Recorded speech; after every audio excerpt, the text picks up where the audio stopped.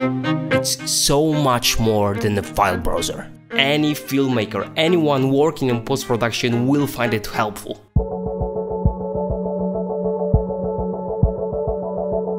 Hey, my name is Piotr Toczyński and Cut to the Point channel is all about mastering film editing and about streamlining the editing process so you know what's the point of every cut you make in the story you want to tell. Let's play a little game. I will describe a few scenarios that are pretty common in our industry and I want you to imagine the steps you would take to accomplish the tasks. Ready? Try to find the slow-mo footage you've shot in 2018. All of it. How quickly would you be able to do it? What if it's red footage and you just can't preview the file in the browser or a simple player? How comfortable do you feel about it? Is it possible to find any file you want, no matter what format it's in, in less than a minute? Or let me ask you another question. A director or producer is looking from behind you at the screen and asks you to offload the files from the card and preview them with a specific LUT applied, and they want you to play it back in a specific frame rate. How do you do it? And how long will they have to wait? You probably thought something like after I would copy the footage, I would import it into my editing software and then I would, and here goes the list of all the steps you would take in your NLE software. Or yet another one. You need to find the best clips of a, just insert anything that would work for you here.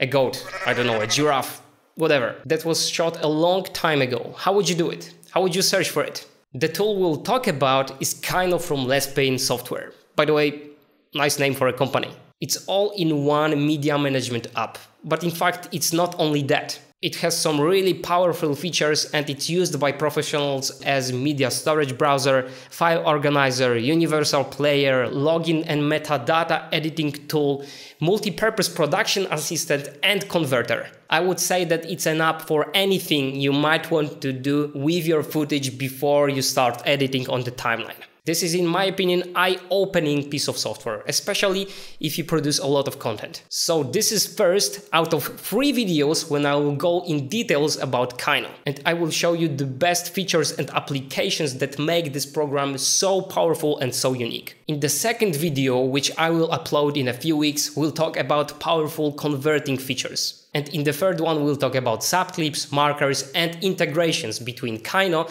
and applications like Premiere Pro, Final Cut, Frame.io, etc. To be clear, this video is not sponsored, but I did receive a copy for review. Still, I didn't promise them anything, and the fact that I'm doing three videos about it is only based on the fact that I do enjoy using it, and I'm pretty convinced that you will like it too. For Lesspain software, I could probably write a simple blog post about it and call it a day. Also, I've negotiated an exclusive discount for my viewers, so by the end of the video I will tell you how to get 20% off any license. I'll be working on Kyno 1.6, the most recent version as I record this video. Let's get started. We can apply and edit metadata in Kyno and what I love about it is that it's not a messy list of metadata I don't actually need and use. Instead, we have the most important information for the filmmakers, like title, description, reel, scene, angle, etc. We can batch edit any field for any number of clips, which is also very useful. We can export, import and merge metadata information and exchange it with people working on another copy of the footage. We can rate clips, like rating pictures in Lightroom, I've always loved to do it and I always wanted an app for filmmakers that could do it. Now we have it. So as with pictures, I will go through the clips keeping my hand on the numeric keyboard and rating them. And another feature you may know from Lightroom are tags. As far as I know, Final Cut Pro uses tags, but we'll talk about integrations in the future video. Basically, tags help us organize and describe clips so we can easily identify them in the future. Drill down is like a signature mark of Kyno. A feature so simple and so useful at the same time. It will display all clips within a selected location, drilling down to the smallest subfolder you can find. You can even select any disk and activate the drill down. We do it with this icon over here or with a keyboard shortcut Ctrl plus Shift plus D or Command Shift plus D on the Mac. Imagine how useful it can be if you don't know where the clip is, you just know that it's on that disk. Another example, I hate how Sony cameras organize media. There is bunch of empty folders there and I always forget which one contains actual clips. With drill down, you just select the top level folder to access all of the files. So useful. By the way, Kyno can be used for managing pictures as well. Basically, it's like a library tab in Lightroom. Another one, we can create our own workspace with folders we want to access quickly and easily. Tags, ratings, metadata, all of them allow us to search for specific clips. So let's have a look at filtering features of Kyno and let's go back to the example of finding slow-mo footage from the previous year. Specifically, I will look for footage with a frame rate of 100 FPS. So I select the high-level folder or disk where I know the clip is buried in and then I choose filtering by frame rate. Specify the query and after a moment you've got the results. Another example, let's find clips I gave 5 star rating to that has Samsung in name.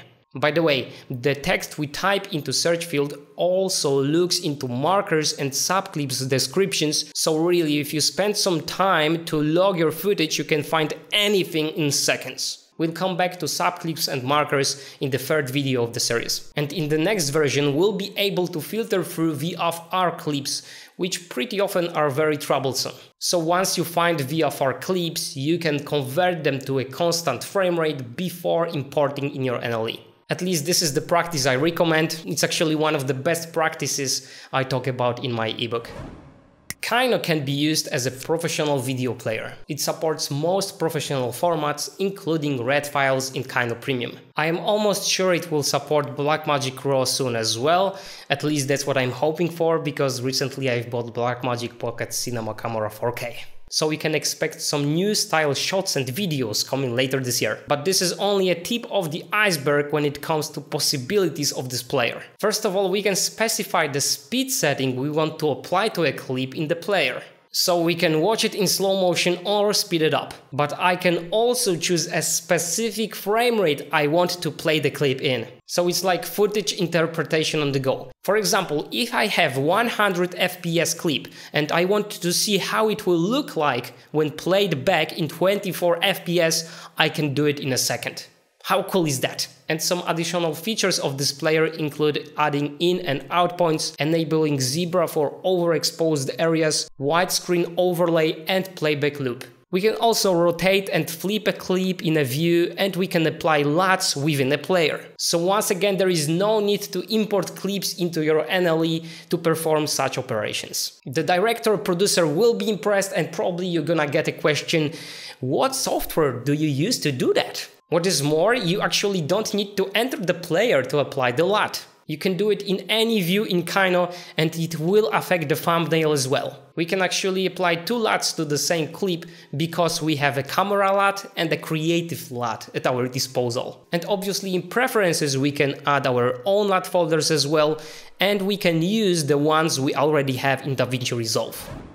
When we are in detailed view of a clip, we can open this content tab. Kyno will generate a preview of 36 frames throughout the duration of that clip, so we can have a pretty good idea what that clip is about. For example, here I have an unboxing footage and even though it's quite long, I can easily see an overview of the content in it. How cool is that? If you have a multi-channel audio clip, you can choose which channel to listen to within Kyno. I can activate only one channel or a few to listen to. Have you ever had that problem when you wanted to get rid of unwanted audio channels and you wanted to interpret the footage, but first you actually needed to drop the clip on the timeline to preview the channels? Now you can do it before even importing the clips into NLE of your choice. Notice that I talk about any editing software. Kyno will blend in your workflow, either you work on Premiere, Final Cut Pro or Resolve. Once again more about it in the third video of that series. Kyno has infinite possibilities when it comes to renaming. Not only we can create our own naming conventions, but we can also use metadata from Kyno to create them. Let's try to use a custom text and some metadata information to generate new descriptive file names. First, I select the clips I want to rename and now I hit F2 on the keyboard or just right click and choose rename. Batch rename window appear and we start by selecting the directory for renamed files. And the thing we're most interested in is file name pattern. At the bottom of the list, we have Manage option, which gives us the endless possibilities. I will duplicate an existing preset and will modify variables. Let's create a name pattern that uses custom name of a project called Vineyard, followed by dash, followed by title from metadata, another dash and frame rate of a clip. Now we save these settings for a future and we click on start renaming. A moment later, we have nice and descriptive names. We can modify it even further by opening more options. We can also run batch renaming when pasting clips to any folder by choosing paste and rename feature. Kyno also has offloading feature, which basically means that Kyno will verify camera media when copying them to a new location. All files will be copied and verified with the source, so we can sleep like a baby at night. At least my baby, my children, because they sleep really well at night. So I can't complain. There are dedicated programs for offloading like Red Giant's Shooter Offload or Hedge, but they cost almost as much as Kyno and don't offer much more. And with Kyno we get offloading as a part of a package. In a standard license you can run a verified copy to only one location, but in Kyno Premium you can specify up to 4 destinations at the same time. Usually red footage is hard to playback smoothly, but Kyno seems to deal with raw R3D files exceptionally well. To help it we can choose the resolution and of course all of the other features of the player are still available. It even reads the sidecar for R3D files, so if you make any changes in Red Cine X Pro, it will be shown in Kyno as well. It's possible because Kyno uses indexing instead of databases, like for example Lightroom. Why is it important? If you've ever used Lightroom, you know that you need to import files into it. Also, if you use a connection to database, you're in serious trouble. So in my opinion, for filmmakers, indexing approach is much better. This is especially important if you're working on shared storage solution because you don't need separate databases for each connected machine. So Kyno works really well in this scenario, for example, if you use a jellyfish with your team. Patrick from LumaForge confirms that and as a matter of fact, they use Kyno as their media management app as well. Bear in mind though that Red support is just available in Kyno Premium. Another Kyno premium feature are metadata logging presets for appending information to clips. Obviously we can batch assign these metadata presets and there is even a very cool feature that allows you to pre-assign metadata preset to SD card before the shoot. So after the shooting day you offload the footage from the card and you've got tags and other information already in place. If you're a cameraman working for numerous clients, you will love reports. Probably producers will love it as well for keeping an eye on production assets. To generate a report, you select the footage folder you're interested in and choose Create Report. In a blink of an eye, you have all data about assets at your hand. Information like total media duration in the folder, average duration of a clip, number of markers and subclips, once again more on that in the future video, video codecs and formats, total and average size of clips, number of items and more. If you've ever dealt with an offset in one of camera's time recording data, you will love the fact that Kyno lets you batch correct incorrect camera time information. Simply select the clips in a question, right click and choose correct recording time.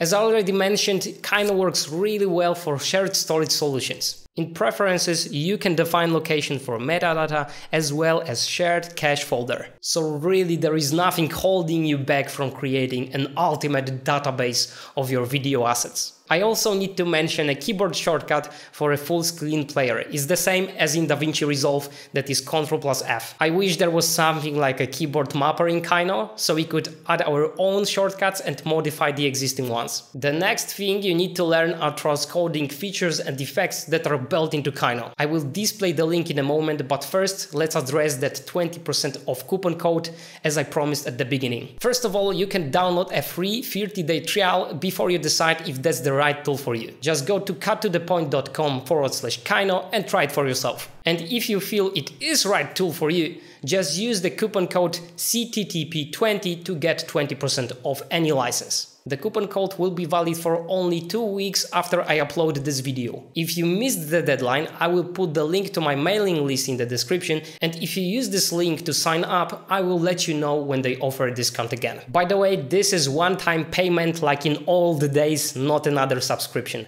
And you get one year of free updates. And you may have it installed on three different computers, which is awesome as well. For a full disclosure, if you use a link in the description to buy it, I will get a small commission at no additional cost to you, and it just helps me to create the content for you guys. Now click here to watch the second part about transcoding features of Kyno. It was Peter until the next time, shoot and daddy like there is no tomorrow.